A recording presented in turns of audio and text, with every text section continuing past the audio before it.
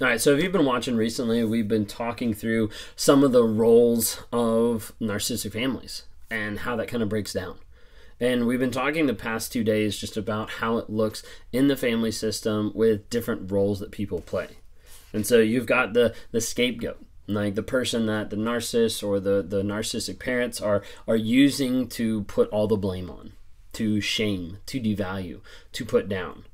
And you've got oftentimes flying monkeys, so different siblings or different relatives that are there to be able to abuse by proxy, that are accepting the other narcissistic alternate reality and saying, like, hey, I'm going to continue to believe that and attack this person at the same time.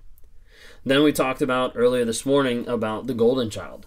Uh, dropped, I think, at like 11 o'clock a.m. Eastern Time. We talked about the golden child and how the golden child is put up as being able to do no wrong whatsoever. Oftentimes, this person is idealized, and the narcissist is trying to live vicariously through them, saying, Oh, this is who I am, or this is defining my worth. The last one I want to talk to you about today, out of the, the four main one that we're talking through, is the hero slash caretaker.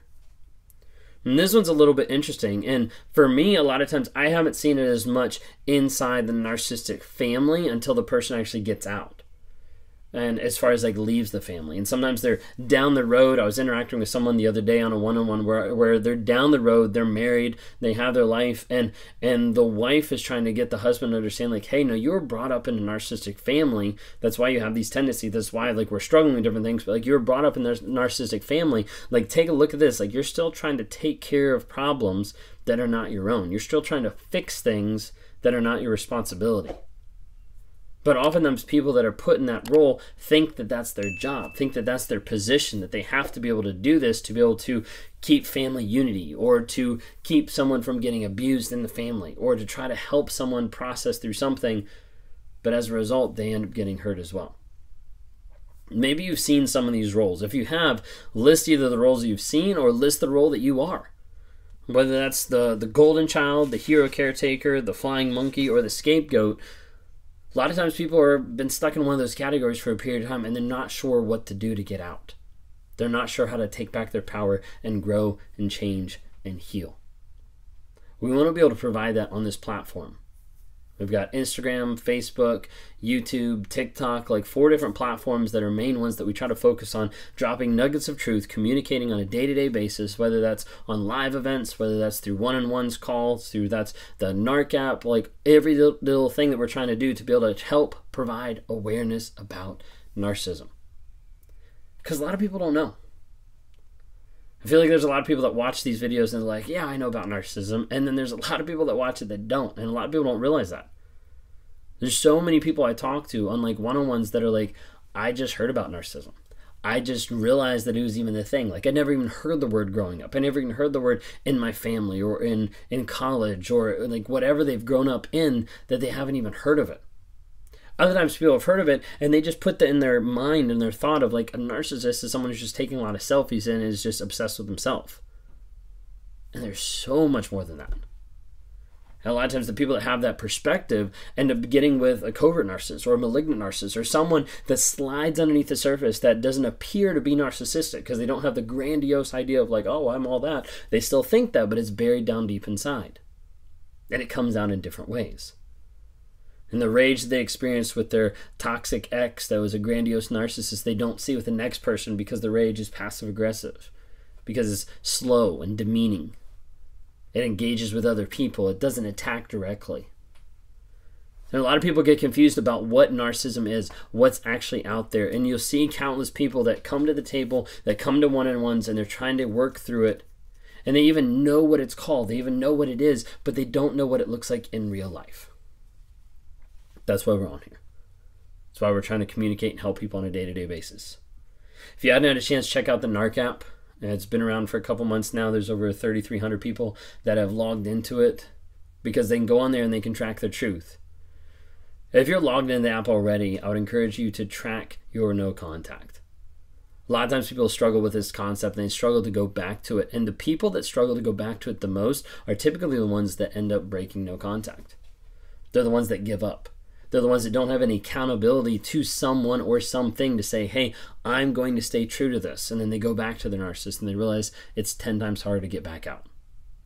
Please be careful. Please continue to work on your growth, on your healing, on your change on a day to day basis. Got a unique opportunity coming up in the next week or so with a Wake Up Warrior challenge that I'm going to be helping go through with multiple people. A way to be able to level up, take back your power, and to grow yourself incredibly. It's absolutely been transformational for my life. And I want to invite you to participate with it with me. Can go to my website, rawmotivations.com, click on Warrior.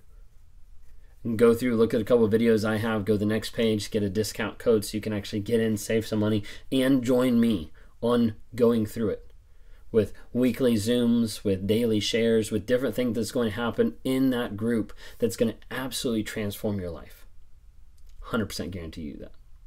If you go in being honest, vulnerable, and say I'm willing to put in the work, you will come out a completely different person. And if you apply it on a day to day basis, it'll continue to transform you.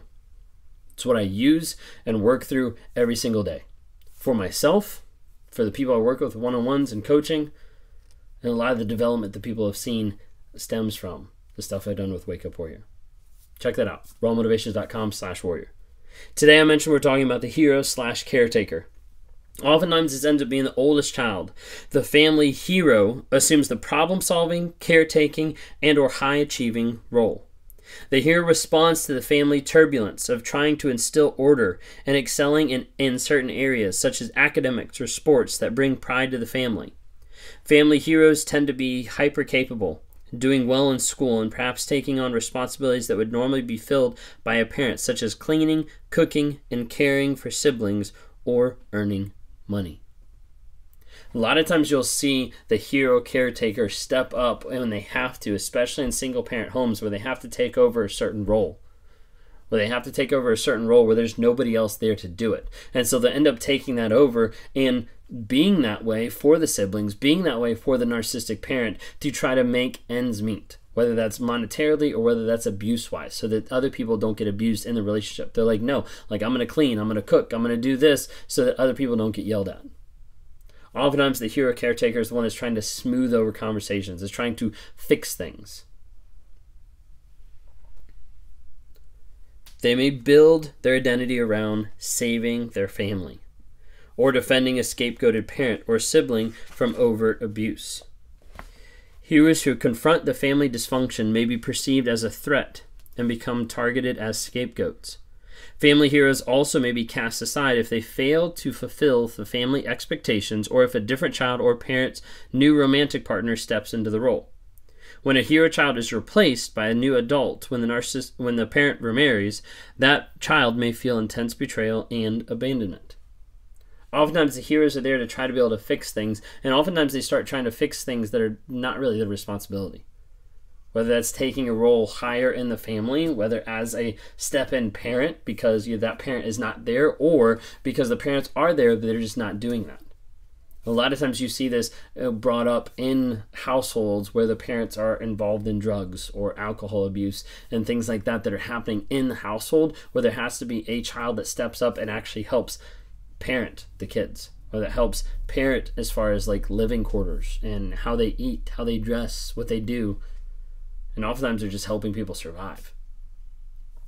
Heroes typically experience ambivalence about their role, feeling needed and special, but also burdened and trapped. They may feel confused about their own agency, feeling at once powerful in their capabilities, but also helpless to ultimately change their underlying family dysfunction and get their needs met. As adults, they are often drawn further into further caretaking or justice seeking roles and struggle with control issues and feelings of perfectionism and over responsibility. Do you struggle with any of those perfectionism or over responsibility because you came through that household, because you came through that abusive relationship?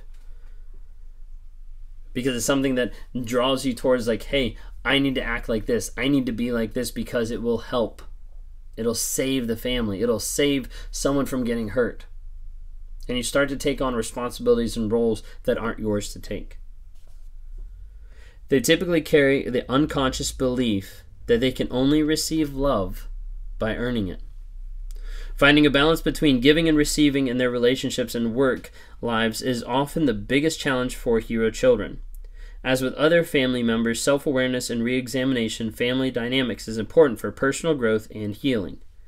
Shedding the compulsive desire to rescue or fix other people and learning to accept support is the path of well being and healthier relationships oftentimes you'll have this person that will get out of a narcissistic family and they will end up getting with another narcissist because they're so used to the mental mindset of I need to fix it, I need to save it. And as a result, these people turn into fixers and they end up getting with other narcissists. They end up getting with people with narcissistic personality disorder because they're like, hey, I need to fix it. This is the mentality that I came up with, this is the family that I came up with, and you might get involved in a relationship for the sole purpose of I can fix this. The thing you have to remember on a day to day basis is you can't fix your family and you can't fix another narcissist, you can't fix another person. You can only fix, grow, and develop you. The question is are you willing? Not are you wanting, but are you willing to make that choice and actually make that choice to invest in you on a day to day basis to grow, take back your power, heal, and change?